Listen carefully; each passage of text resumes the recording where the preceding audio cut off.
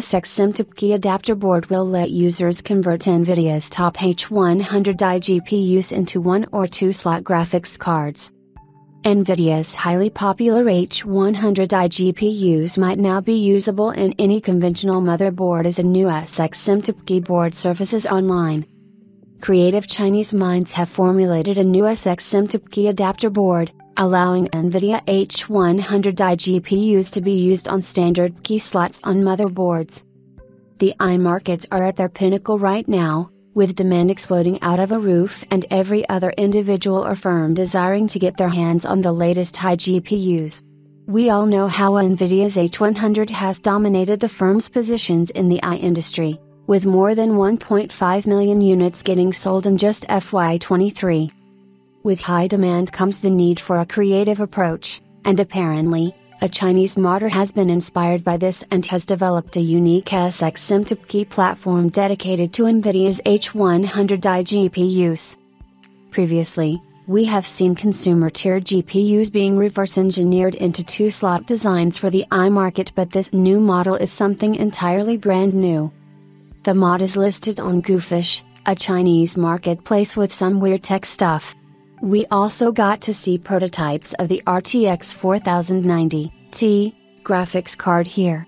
Based on what the listing tells us, the mod, which is an adapter board, converts an SXM5 connection to a PCIe Gen 4 1, which means that each consumer having a standard Gen 4 motherboard could mount the NVIDIA H100 AI GPU easily. Looking at the board itself, it is quite huge with various voltage measuring points and headers, the SXM5 Mezzanine connectors can be seen in the middle and there are mounting holes to fit a GPU cooler on top of it. The H100 SXM can support TDPs north of 500 watts so you'll have to run these GPUs under some hefty cooling, active preferably. There are several power connectors including two 8-pin and two 6-pin which equal 450 watts of power and 525 watts with the PCIe interface, 75 watts. There are four fan headers too.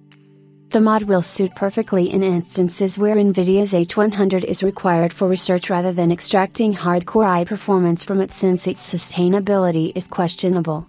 H100 SXM boards are usually equipped in huge racks and configurations of up to 8 GPUs per rack. They are a very unconventional setup and cost one hundreds of thousands of dollars.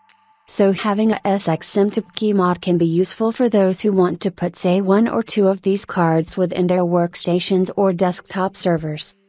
In terms of pricing, the SXM to PCIe H100 mod is retailing for 114 yuan or around $16, which is pretty decent because even modern day PCIe converters go for a much larger price. We can't be sure about the practicality of the mod since it hasn't been tested yet, hence, it raises the curiosity of how the mod would work out.